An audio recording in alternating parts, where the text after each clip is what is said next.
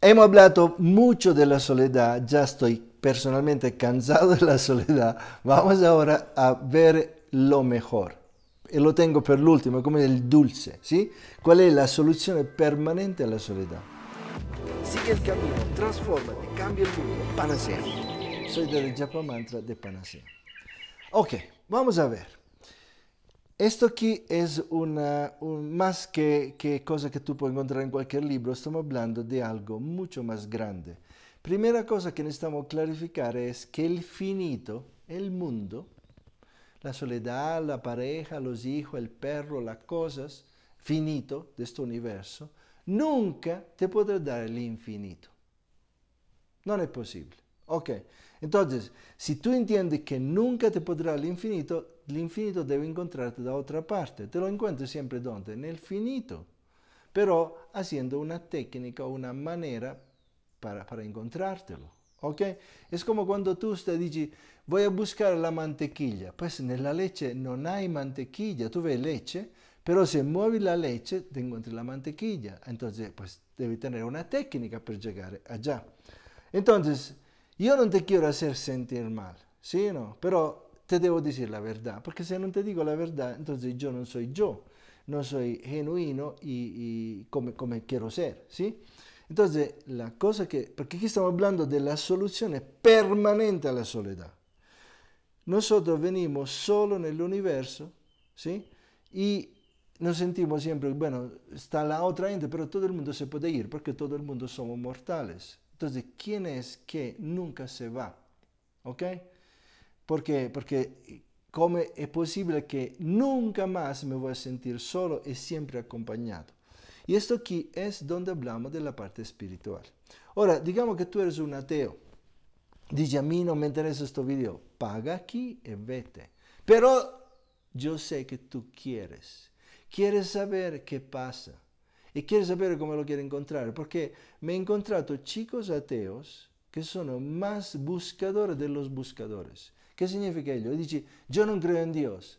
Pero no creen en Dios, ellos quieren ser convencidos que Dios existe, porque ellos se estudian mejor de los demás toda la parte de la espiritualidad. Por eso te pueden hablar diciendo que no existe. Ahora, la parte interesante es esta, si algo no existe, uno nunca debe hablar de eso.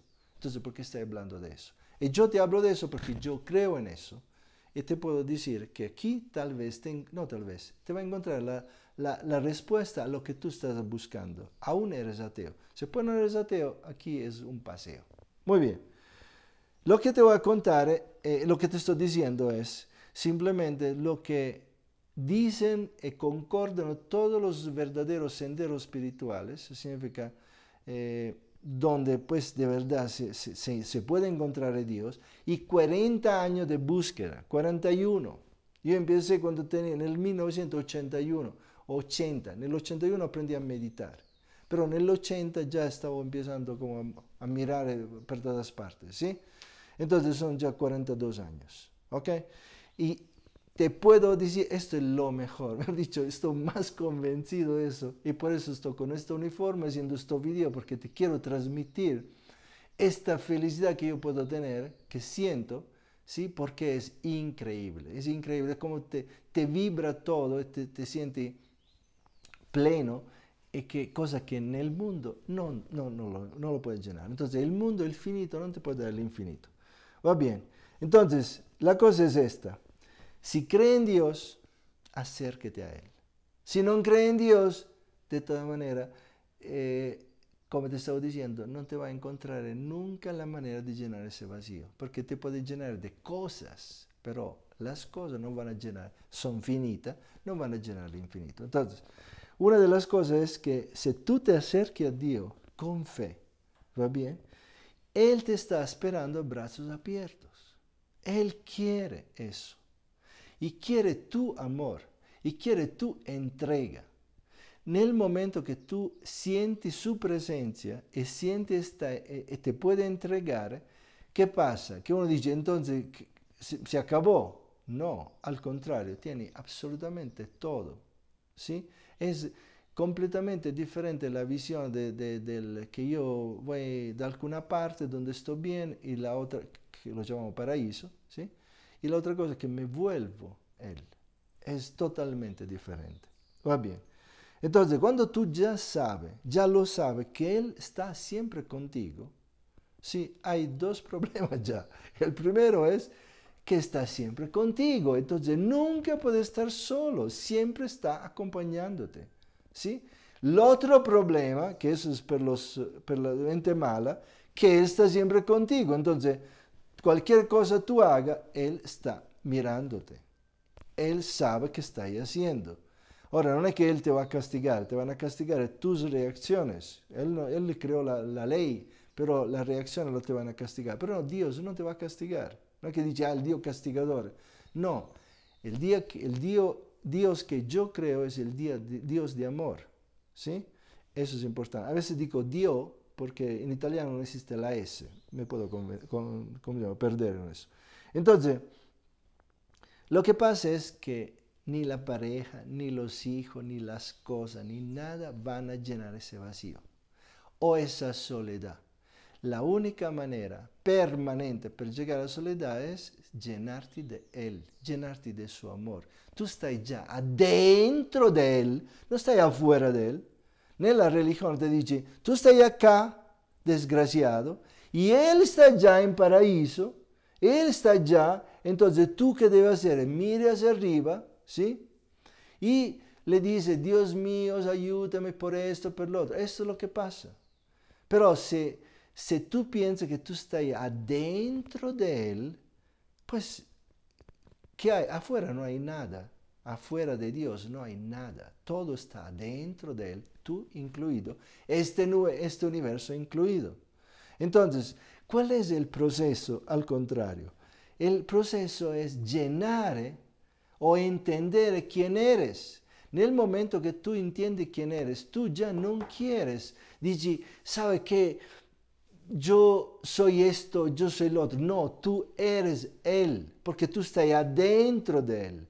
Entonces, ¿cuál es el proceso para llegar a volverte Él?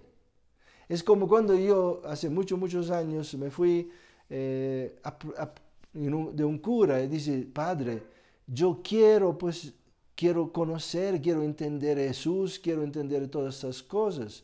Y el padre me dice, bien, viene a la misa, dice, padre, yo quiero más, yo quiero entender. E, e dice, pero entender qué? Y yo le dije, pero padre, yo quiero volverme como Jesús. Entonces el padre me miró, esto aquí, el cura, ¿sí? Me miró como, como raro, dice, ¿cómo? Eso no es posible. Pero digo, Padre, si Jesús es el, Dios de, eh, el Hijo de Dios, pues yo quién soy? También el Hijo de Dios. ¿Sí? Entonces, no es que yo quiero, pues, la cosa es, ¿me quiero volver como Él o quiero rezar a Él? No, la idea es volverme uno como Él. ¿Sí?